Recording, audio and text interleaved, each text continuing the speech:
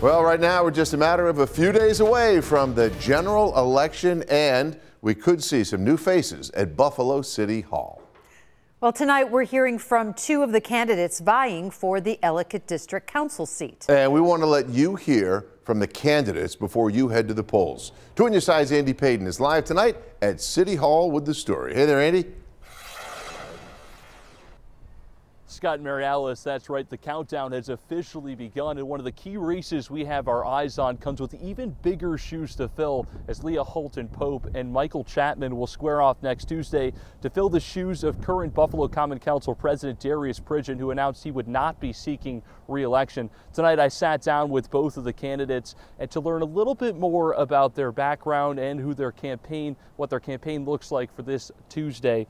Uh, Halton Pope enters Tuesday with 25 years of of government and political experience, and spending the last 10 of those years with current Majority Leader Crystal Peoples Stokes. She says she's focused her campaign on fixing basic infrastructure, working to help small businesses, but that her main focus is on housing. There has to be a way that we um, rebuild these communities. Some streets in this district have maybe two houses on the whole street. So imagine being able to build houses and create a neighborhood um, that's affordable. They're not too high for people to, to live in. Um, and there's some equity built in, and we start creating generational wealth by that. Now, Halton Pope's opponent bears more similarities with the current seat occupant. Michael Chapman has spent the past 22 years as the pastor at St. John's Baptist Church and says he's running simply because the community asked him to do so. He also tells me his opponent's years of experience in politics isn't something he's concerned about despite having no political background himself. Listen to this.